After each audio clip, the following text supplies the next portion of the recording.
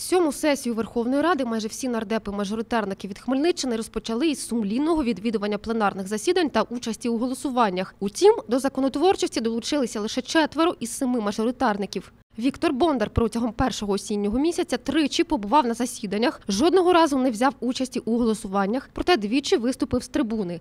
Критикував реформи, пропонував кадрові зміни у Кабміні та кандидатуру на посаду голови Нацбанку. А також став співавтором одного законопроекту та ініціатором депутатського запиту. Олександр Герега у вересні пропустив одне засідання, не виступав та не долучався до законотворчості. Натомість зосередився на роботі в окрузі та ініціював чотири запити. При голосуванні цей обранець найчастіше натискав кнопку Утримався. Сергій Лабазюк одне засідання пропустив, один раз виступив з трибуни, став співавтором одного законопроекту, зареєстрував три запити, взяв участь у 7% голосувань. При голосуванні, як правило, утримувався. А от Роман Мацола протягом вересня був на всіх засіданнях. У співавторстві зареєстрував три законопроекти. Разом з колегами ініціював шість запитів. Брав участь майже у 80% голосувань. Найчастіше утримувався. Нардеп Сергій Мельник у перший місяць вересня був на всіх пленарних засіданнях.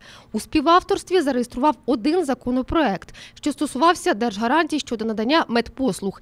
Ініціював два запити. У голосуваннях утримувався лише у трохи більше як третини випадків. Сумлінно відвідував засідання Володимир Мельниченко. У вересні цей нардеп не зареєстрував жодного законопроекту, жодного запиту та зовсім не виступав з трибуни. Натомість майже 100% голосував. Щоправда, найчастіше утримувався. І ще один сумлінний відвідувач засідань Андрій Шенькович. У вересні обранець зареєстрував три законопроекти. Голосував цей депутат у більше як половині випадків. І, як і більшість колег Смельниччини, утримувався.